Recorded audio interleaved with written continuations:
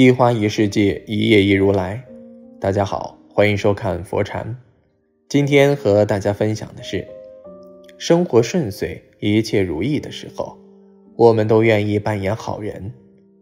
无论是刻意将自己伪装的温柔美好，还是因为抱着锦上添花的念头，赠人玫瑰，手有余香，我们都乐于装扮出一副善良宽容的模样。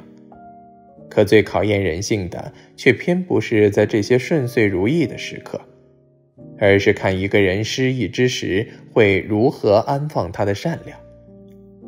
一，什么是修养？《红楼梦》有这么一个情节：黛玉生宝玉的气，哭了半晌，最后还叮嘱紫娟，看那大燕子回来，再把帘子放下来，拿石狮子倚住。那个平时有点尖酸、心眼又小又讲话不留情面的姑娘，在自己气到哭了半晌的时刻，犹能记得要等燕子归来再放下门帘。她在失意时候显现的善良、播散的善意，不仅是一种品行，更是一种风度，光芒四射。一个有修养的人，骨子里透着善良，从不需要刻意的伪装。哪怕失意落魄，也不忘带着善良砥砺前行。看一个人的修养，不是看他心平气和的善良明媚，而是看他心浮气躁时的温暖如初。心理学上有个名词叫做“踢猫效应”，指的就是典型的坏情绪的传染，由地位高的传向地位低的，由强者传向弱者。无处发泄的最弱小的，变成了最终的牺牲品。踢猫效应描绘的是一种典型的坏情绪的传染，是指对弱于自己或者等级低于自己的对象发泄不满情绪，而产生的连锁反应。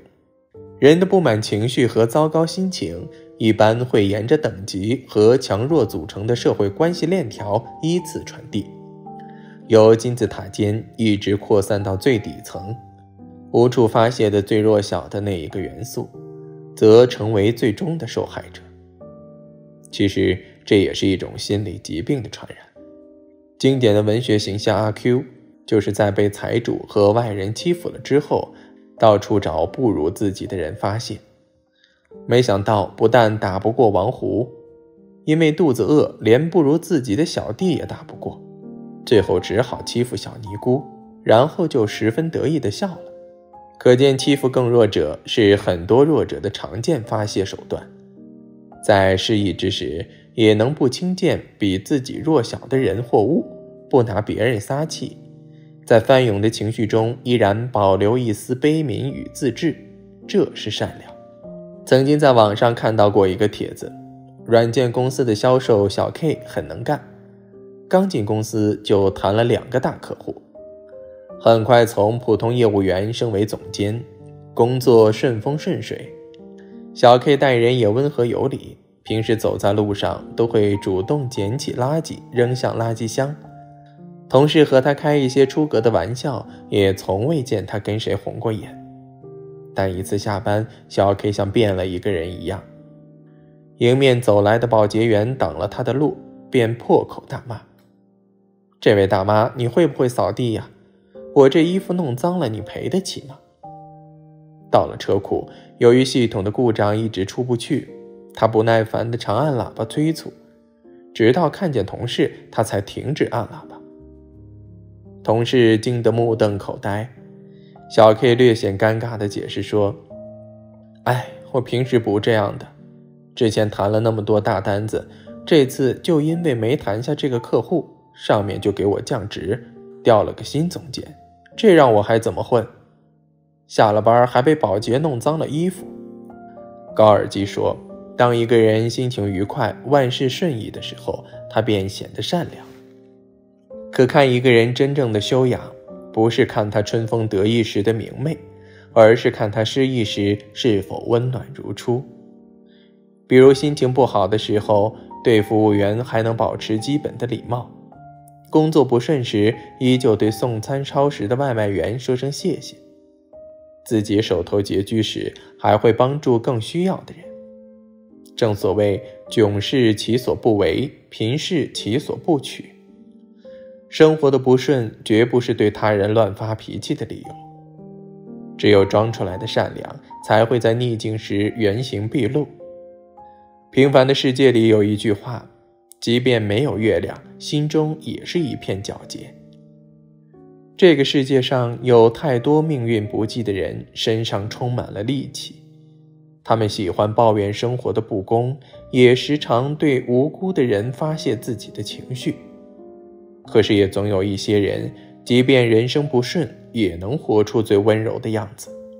王阳明被贬龙场时，生活非常艰苦，食无肉，居无室。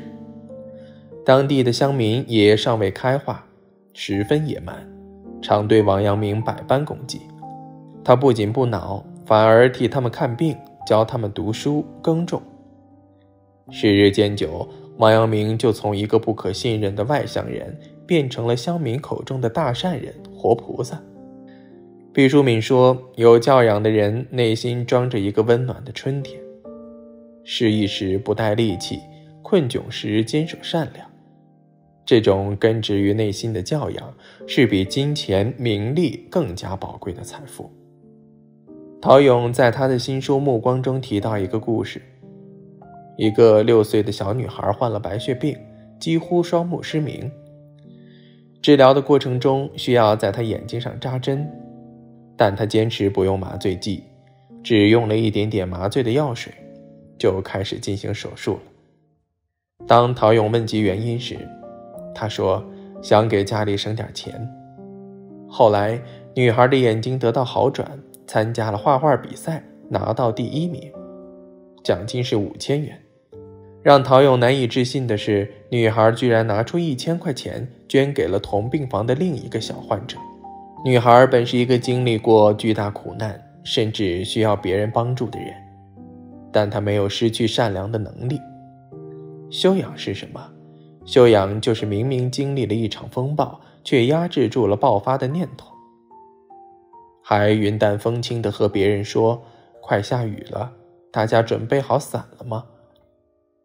一个人最高级的善良，就是看到别人的苦会生出慈悲之心，即便自己淋着雨，也总想着为他人撑伞。二，越高贵的人越善良。看过一则令人鼻子发酸的视频，一名衣衫褴褛的男子来到派出所说。我在报纸上看到助学计划，我想捐一千元。意识到自己褴褛的形象后，他不安地强调：“钱是正规渠道来的，请放心。”看着他单薄的衣衫，民警忍不住说：“不用捐这么多，天这么冷，你自己不需要一点吗？”他不在意地说：“我自己能照顾好我自己。”云边有个小卖部中有这样一段话。生命是有光的，在我熄灭以前，能够照亮你一点，就是我所有能做的了。这个世界从来不缺善良的人，缺的是经历低谷、困顿甚至打击后仍然保持善良的人。早年间，林语堂到国外留学，一度穷得连粥都喝不起，他只得向胡适求助，能否由尊兄作保，向他人借贷一千美元？然而，胡适当时经济状况也很差，家中一度举债，但是他还是毫不犹豫，以北大提前预支的工资的名义，给他寄去了两千美元。四年后，林语堂回国到北大就职，才知道北大没有预支工资这回事儿，那些钱都是胡适夫妇节衣缩食、东挪西借来的，只为了不伤害他的自尊心。将心比心，设身处地的为他人着想，这是一种推己及人的善良与温柔。苏轼的诗才纵横名动天下，令世人仰慕，而他刻在骨子里的善良，更是让人钦佩不已。乌台诗案，他被贬谪到天高地远的萧索之地，贬谪之苦无可尽数，但他始终心系黎民，频频善举，造福百姓。被贬黄州，他创办了中国第一个孤儿院；被贬杭州，他修建了苏堤；被贬惠州，他设计了自来水供水系统。在自己身无长物的拮据日子里，他努力筹措资金，为当地修桥铺路。真正的强者会将生活的苦难悉数收下，然后用善良和坚强把地狱装扮成天堂。灵魂越是高贵的人，越是拥有一颗悲悯之心。能够在低处经营好自己的人，最后往往能到达人生的高处。生活从来都不缺得意时温文尔雅的人，缺的是在失意时仍心怀慈悲的人。命运不济时，也要记得保持善良。善良是一种回声，说不定善良也是你走出失意的钥匙。今天的分享就是这些，非常感谢您的收看。喜欢佛禅频道，别忘记点点订阅和转发，在这里你永远不会孤单。